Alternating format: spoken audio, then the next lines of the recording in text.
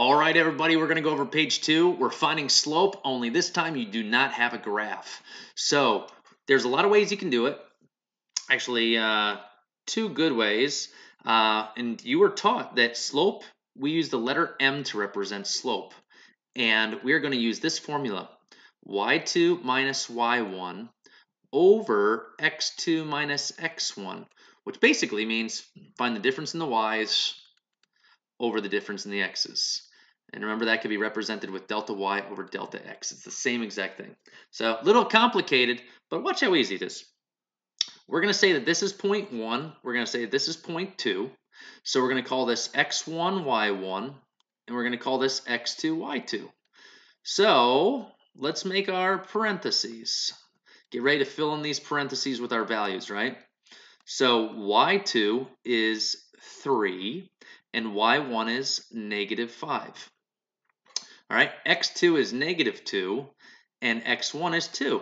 So now we just have to solve this problem. Let's simplify. Uh, if it'll let me move. Okay, there we go. Uh, the opposite of a negative is a positive. 3 plus 5 is 8. And negative 2 and negative 2, combine those negatives to get negative 4. And when you simplify that, you get negative 2. And it's perfectly fine to have a whole number for slope because we realize that negative 2 is the same thing as negative 2 over 1, right? They are the same thing. All right, we're going to do this method for one more problem over here. Um, I'm going to do present box minus present box because we like to call them present boxes sometimes because we like to fill present boxes with presents. It makes it more fun. All right, this time, let's call this point 1. Let's call this point 2. x1, y1, x2, y2. It doesn't matter, right, which points you use as long as you label them correctly. All right, y2 is negative 4, y1 is negative 5, uh, x2 is negative 5, x1 is 5. So here we go. Let's solve. The opposite of a negative is a positive. Negative 4 plus 5 is 1. And combine the negatives down here, a negative 5 and negative 5 make negative 10. So you get negative 1 tenth. And it doesn't matter where you put the negative. On the 1, the 10, or the side, it's all the same thing. All right, so you could use that method. I prefer the XY chart, okay? I just put the points in, and I'm going to basically do the same thing. What's the difference in my y's?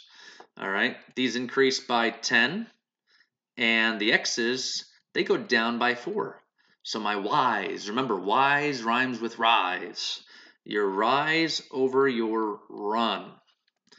That's going to simplify to negative 5 halves and that is your slope. All right, XY chart, here we go. Let's keep it rolling. I'm going to do the difference in my y's. My rise is 3, and from negative 3 to 2, that's a rise of 5, or sorry, a run of 5. So that slope is a positive 3 fifths. All right, let's go on to the next problems. XY chart. This is my preferred way to do it. I could always graph them and do my rise over my run, right? But this is another easy way. So 0 to 3, that's an increase of 3. 0 to 3, that's an increase of 3. So my rise over my run is, I lost my cursor, where is it? Okay, uh, it's 3 over 3, which is 1. All right, next way, here we go. xy, negative 5, negative 3, 5, 3. My rise, I'm increasing by 6. My run, I'm increasing by 10. 6 tenths simplifies to 3 fifths. 3 fifths is my slope. All right, next one, xy, negative 2, negative 5, and 0 to 5. My rise, I'm increasing by 10. My run, I'm increasing by 2. So 10 over 2 simplifies to 5, or 5 over 1.